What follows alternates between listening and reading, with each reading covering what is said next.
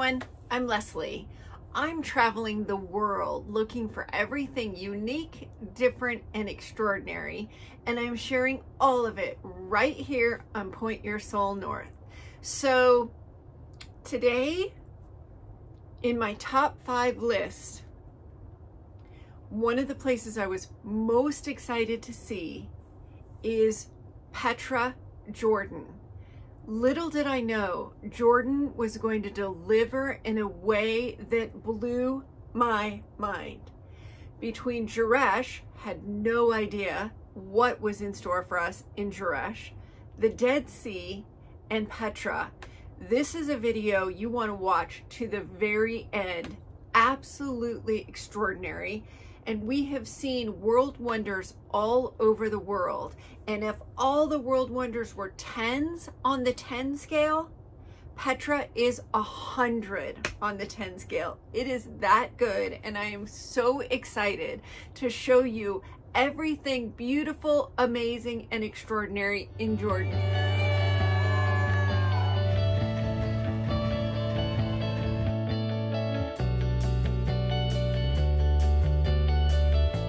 So if you haven't watched my video on Cairo, Egypt, you'll want to go back and watch that because that's how this whole getting to Jordan trip started.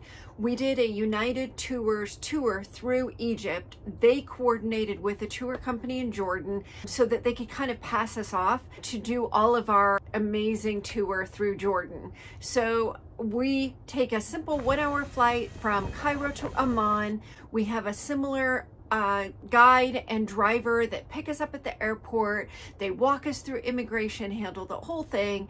As you can imagine, there's so much going on in this part of the world. We did a lot of research, but unfortunately, they have just gotten thrown under the bus with everything that's going on in Israel. Although both Egypt and Jordan don't have anything to do with it it was a bit bittersweet and it was the big beginning of what we were going to see in Jordan when we were in the airport and it was so quiet. The immigration officer was so excited to see us, wanted to know all of where we had been and um, was we had quite a conversation with the immigration officer we were very excited to be in Jordan, had no idea what to expect. Um, so it was just a perfect way to start. Our driver drives us um, to our hotel. We check into a beautiful hotel in Amman. Beautiful.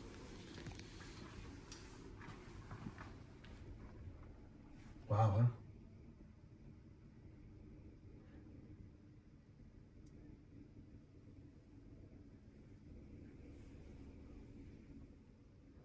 And when we drive up to the hotel, we can hear um, chanting and, um, but it doesn't really register because we're kind of um, just a little discombobulated just getting there and getting checked into our hotel until 4 a.m.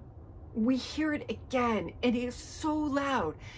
And come to find out, it's the Muslim Adhan. It's their um, Muslim prayer, and they pray five times a day, but they do it um, publicly. Basically, an announcement goes out to the community um, in a prayer, and uh, there was a mosque right by our hotel. So, yeah, we heard um, and we shot out of bed at 4 a.m. That was welcome to Jordan. Um, we're going to pray at 4 a.m. Um, yeah. In beautiful Jordan, on our way to the Dead Sea, and a couple more Roman ruins. So excited to see the Dead Sea. Is it alive or is it dead? Is there any living things in the Dead Sea? Fish? Anything?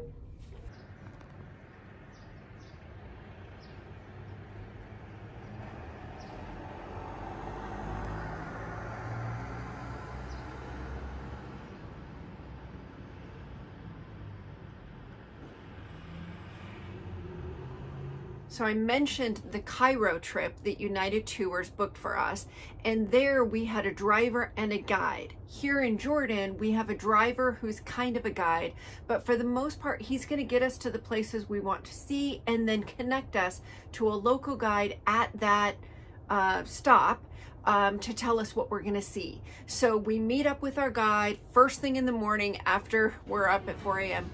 Um, and um, we start our day and our driver takes us through the Jordanian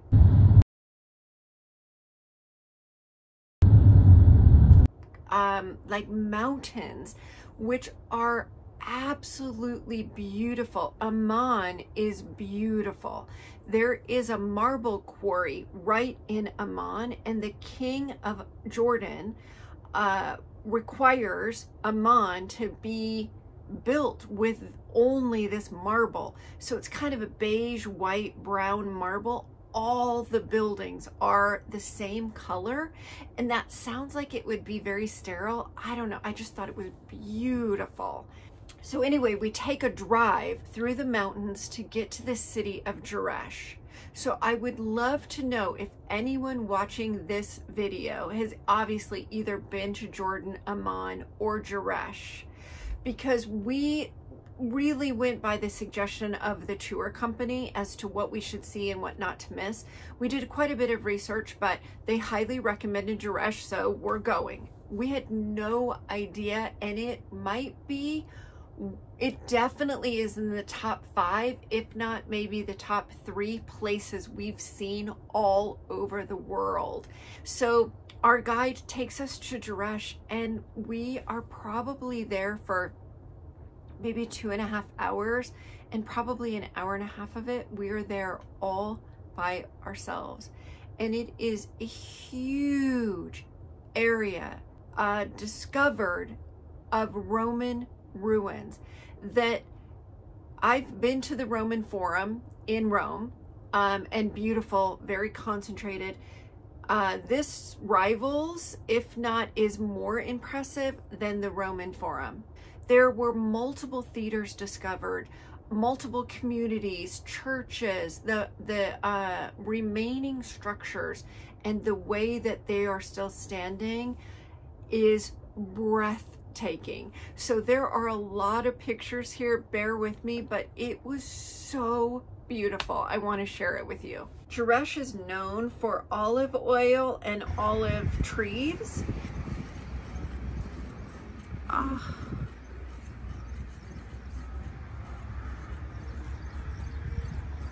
Uh, definitely is so much more than that because in 1878 they discovered buried under earthquake dirt and mud a Greek foundation with Roman ruins that is spectacular. So this is the Oval Plaza of Forum. It was built in the second century AD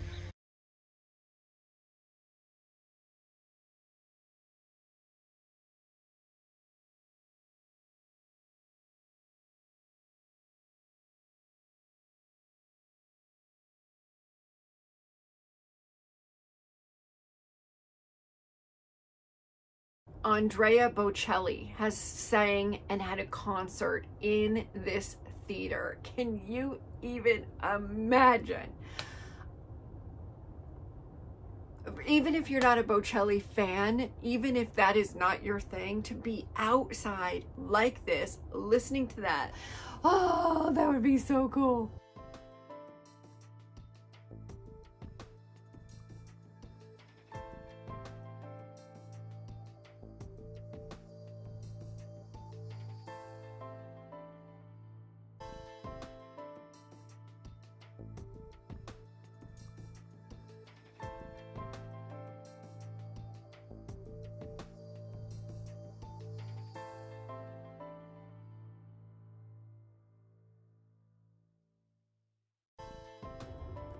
Most important parts of the city are the main columned streets, the other large monumental structures like the temples, the theaters, the baths, the piazzas, the bazaars.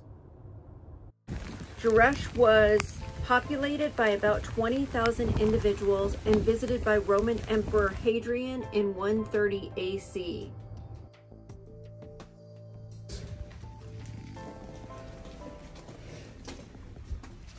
Look to the orchestra with a marble.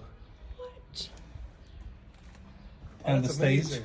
Under the stage, there is niches, and these niches used to light the oil lamp at night.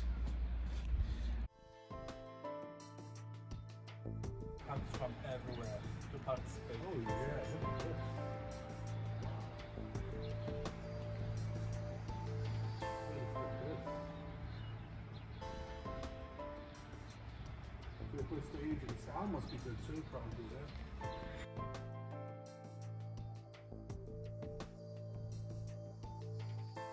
It is so beautiful and so well maintained. Um, you know, like buried similar to Pompeii that once it's buried it's just the the structures are maintained in a way that is just incredible.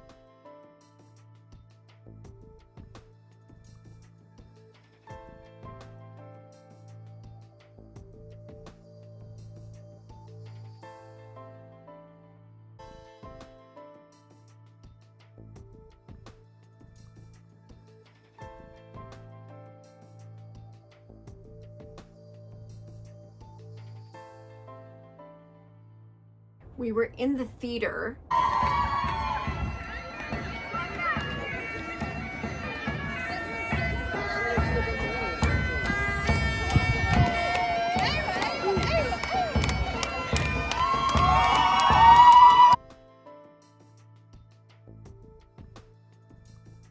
you know, we were able to walk up on the theater steps and it's just the it's so beautiful.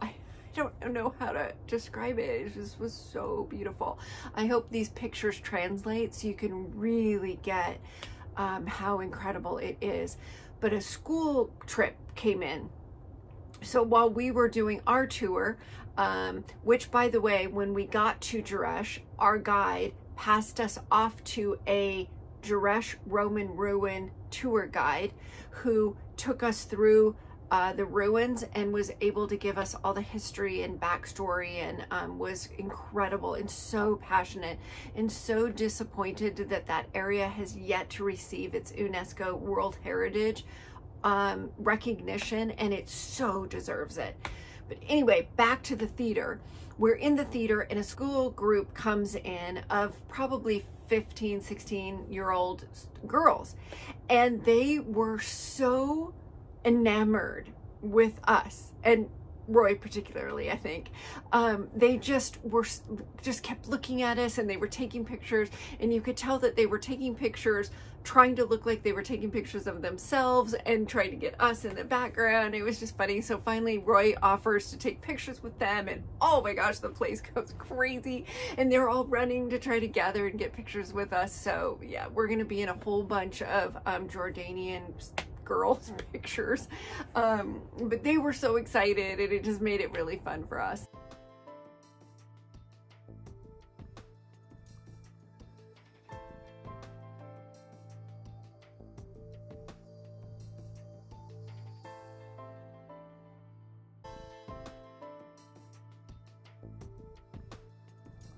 we leave Jerash and we're on our way to float in the Dead Sea. So that also has been on my bucket list for decades. And it's so remote, even in Jordan. It is so remote from where we are in the United States in Arizona. And it's such a, it's just such an experience and an area. And now especially because as we're coming in, it is the lowest point on earth. So we're dropping down into this valley and you can see Israel on the other side of the Dead Sea. It's shared obviously between Jordan and Israel. So to see Israel and to know that Jesus was baptized in this water, it's just, it's really difficult to just get your head around that you're in that place at that moment. It's just, yeah, incredible.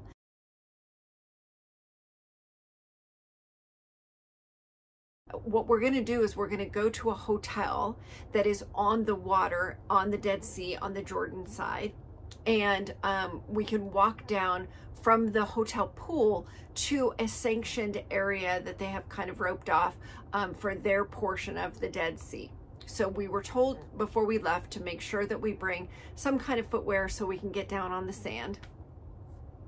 I bring my flip-flops. Roy forgets his shoes. So we walk out and uh, it's probably not the hottest sand that sand could be, but it was so hot that Roy went way too far and burned the bottom of his feet. And uh, we're walking about 10 to 15 miles a day exploring the world. So we don't need burned feet, but he had burned feet. Thankfully, we were at the Dead Sea. Salt is very helpful to wounds. So hopefully that helped mitigate some of it, but um, they were significantly burned. Um, but I digress. So we get um, out to the Dead Sea and there's a couple people there that, that tell us there to get in the water, kind of experience it. And when you get out to cover your body in this mud and this mud is highly therapeutic. The Dead Sea mud is packed with restorative minerals like calcium, silica, zinc, which enhances skin's elasticity and helps to minimize the appearance of lines and wrinkles. Like sign me up for that and I'll just do it over and over and over and over again, which our guide actually recommended that. Go into the water, come out, put all the mud on, let it dry. And when it dries, you get this crazy elephant skin. And then go back in, rinse it all off, float in the sea,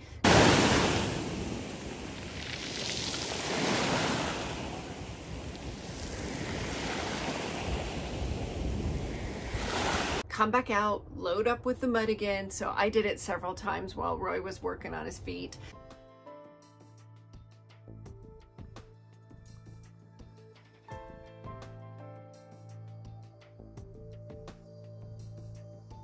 a couple things for the Dead Sea. Super important you bring an old swimsuit because the salt can just destroy the quality of the fabric. Um, you obviously want to make sure you have some kind of footwear because the sand is 4,000 degrees. Um, and I learned the hard way, when you're laying in the Dead Sea, um, we had waves and maybe on a lack of a wavy day, this would not be applicable, but it's important to kind of keep your head up and not just flat in the water because a wave came over and I don't know how to articulate this either, but the salt water is very, very oily and salt got in my eyes and that is like death. It was burned so bad. And um, because it's so oily, it's super slippery out there. So trying to get out of the water and get to my towel to wipe my eyes, I did it and I went back in, I didn't care, put more mud on and uh, just kept the process going. It just makes your skin so silky soft. The only thing I'm sad about is that it impacted my henna tattoo that I had gotten in Dubai before we left for Cairo. And I loved that henna. So, but you know, if I have to lose my henna from being in the Dead Sea, that's not a bad gig. So um, just an incredible moment to lay in this crazy water that you literally cannot sink down to save your life. You're float, float, float. Um, and I just was looking up at the sky, just recounting the bajillion things that I have so much to be grateful for.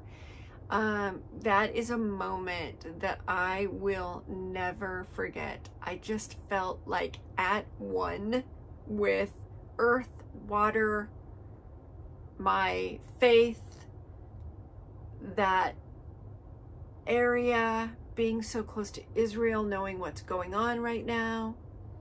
We were out there by ourselves. I bet we could scrub the internet and not find other pictures of other people in probably the last 40 years at least that have been to this resort at the Dead Sea without a soul out there. Just a beautiful moment. And we spent a couple hours out there. It was, it was glorious. Unfortunately, Roy left hobbling, um, but still totally loved the experience at the Dead Sea. Um, shout out to the Holiday Inn Dead Sea because we loved that. So day three, we're in Jordan. We're in, we're in Amman. We leave the Dead Sea, go back to our hotel and we wake up in Amman again to a 4 a.m. prayer. Uh, and we leave to take a three hour drive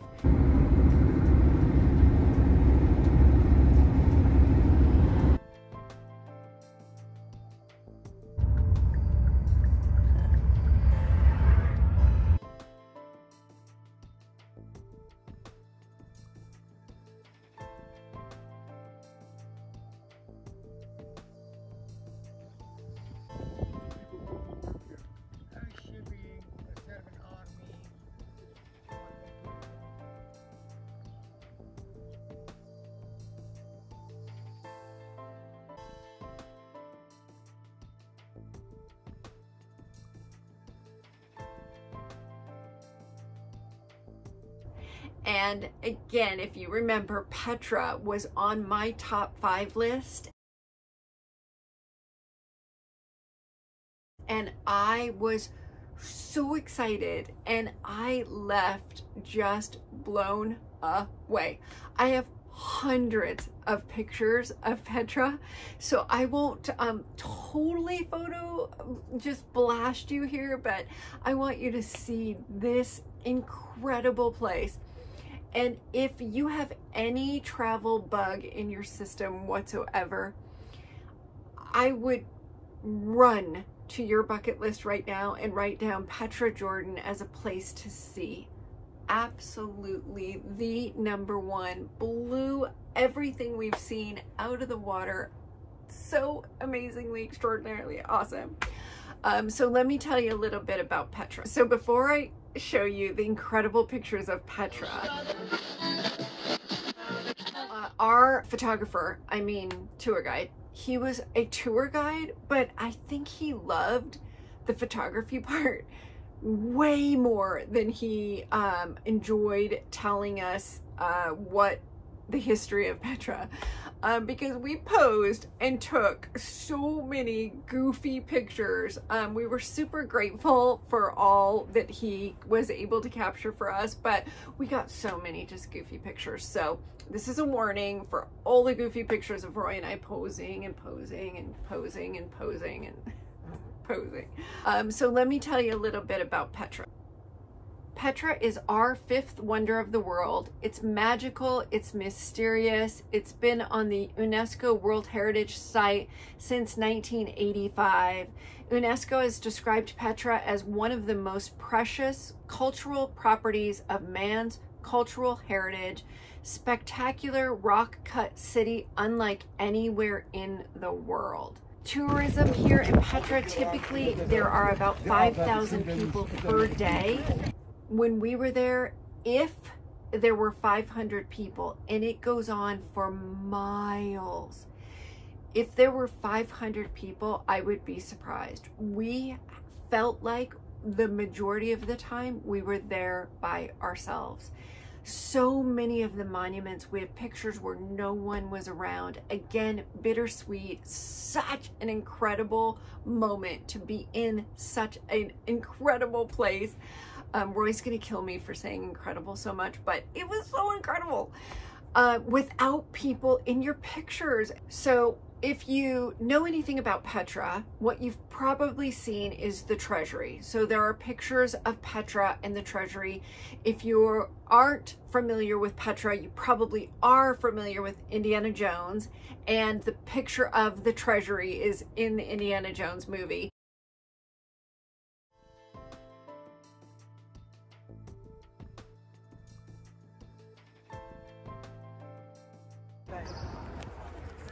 There is absolutely no way to articulate how unbelievable this is.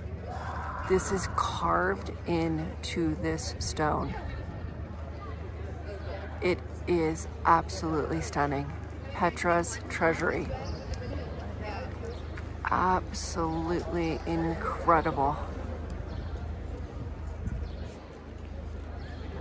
You can take horses or donkeys to ride down to get just to the treasury if you want. It's not that far and it's flat and it's downhill, so it's not really necessary, but just so you know, because when you get there, the horse and donkey people are soliciting you for rides and it does make you question like, do I need to ride down there? Like how far is it? Um, if you're at all, you know, capable of walking in, in, it's not even sand, it's kind of hard dirt uh, and you know, relatively physically capable, you can walk to the treasury.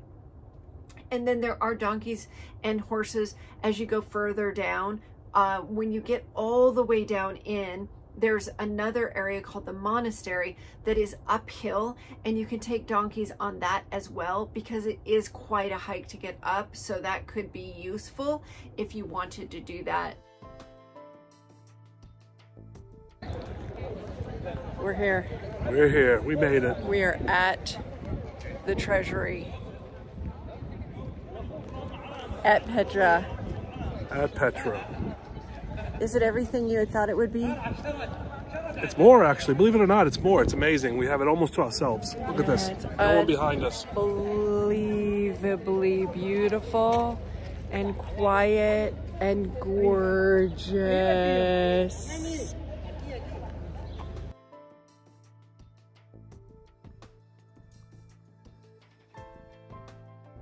So to give you a little history about Petra, Petra began to prosper around the first century BC and continued to do so roughly until about 363 AD.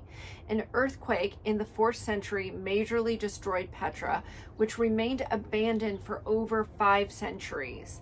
It was rediscovered much later in the early 19th century. 1812 that's not that long ago. Can you imagine being an explorer in 1812 and you discover this? You discover Petra in this city, this carved city of just mind-blowing beauty. I, I, can't even imagine that. I'm a huge explorer, adventurous. I love to climb all over and search and hike and um, you know, me finding a little heart rock is like a moment for me. I can't imagine coming around the corner and seeing this carved tomb. Oh my God, look at this. Oh my God. Wow. So shout out to Swiss explorer jo Johannes Burckhardt. Since then, it's been widely known as the Lost City, aka the Rose City for the beautiful red sandstone the structures are carved from. The name Petra is derived from Petros, which means rocks in Greek. The name was probably given to the city due to its carved sandstone and rock structures. More than just the impressive treasury, the treasury is actually a mausoleum, but the local Bedouins believed it contained riches and renamed it Treasury. The Nabateans believed in the afterlife and taking extra care of their dead. They built over a thousand tombs in Petra. This makes the site one of the largest royal tomb complexes in the world. Our guide has us crawling through caves. Look at this. Look at that. What world am I in right now? Look at that. What? What? What?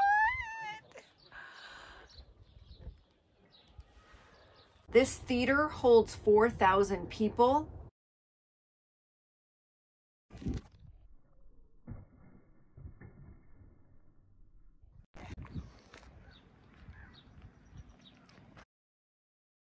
the the narrows you walk through just carved cliff walls um, to this tomb, that tomb. It opens up, there's ruins, Roman ruins um, down uh, at the base.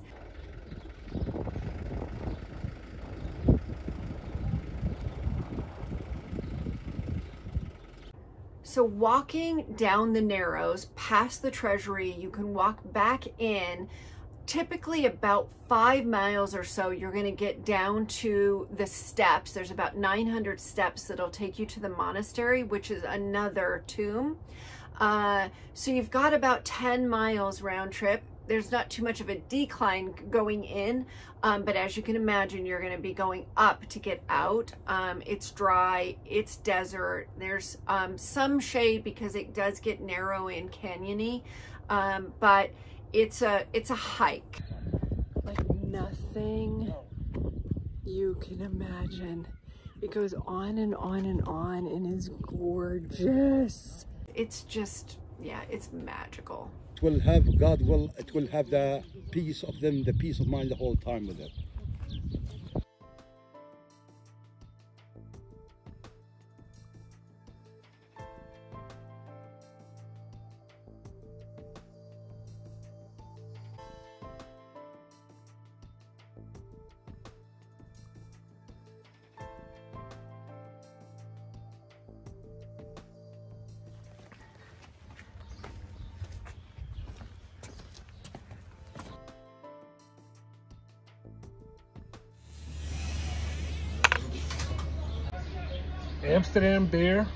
Amstel actually, in Petra.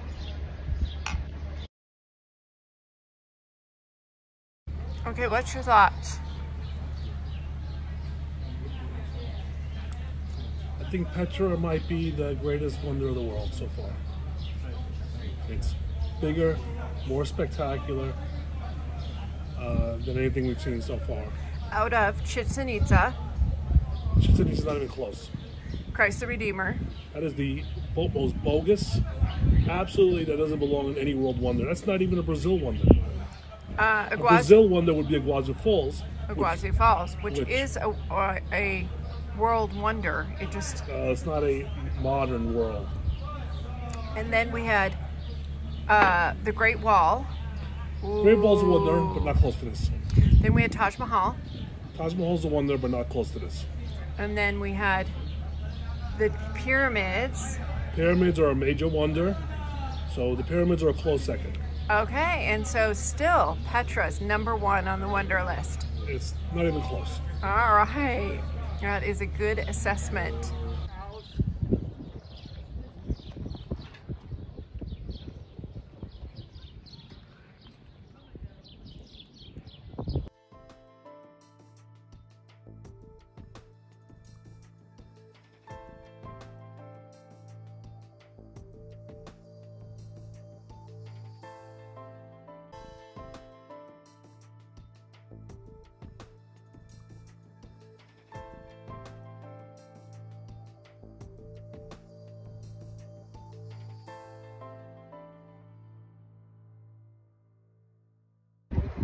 Say goodbye to Petra.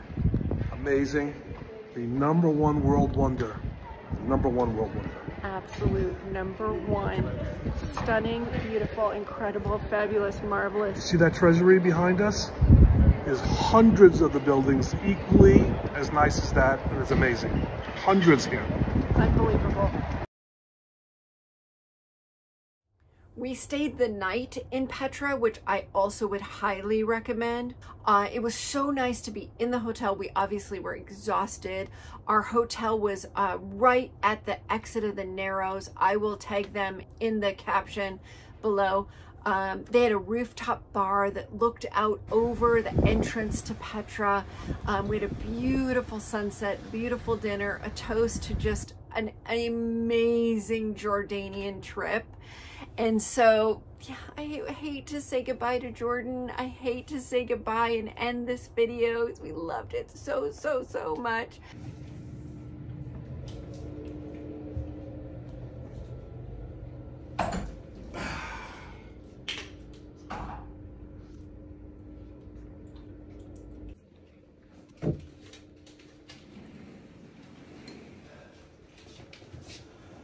At 7 o'clock, go to the rooftop to see the sunset. Oh, The view for sunset is very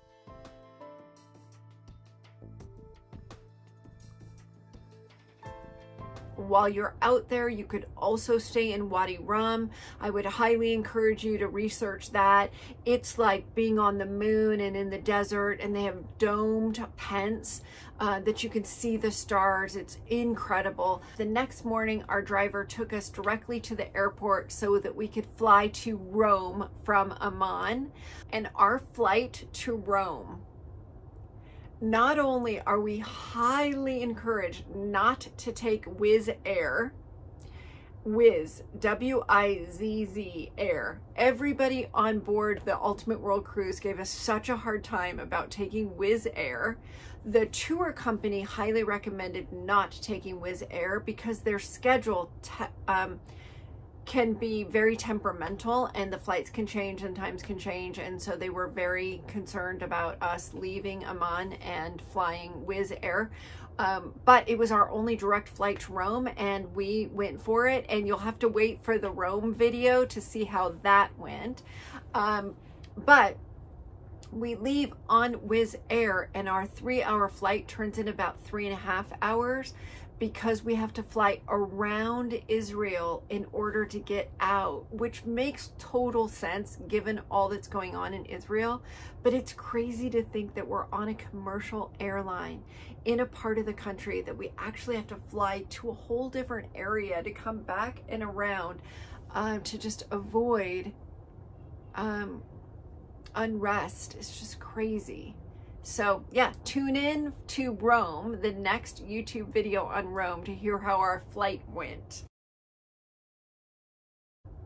Petra, Jerash, Jordan in general, the Dead Sea.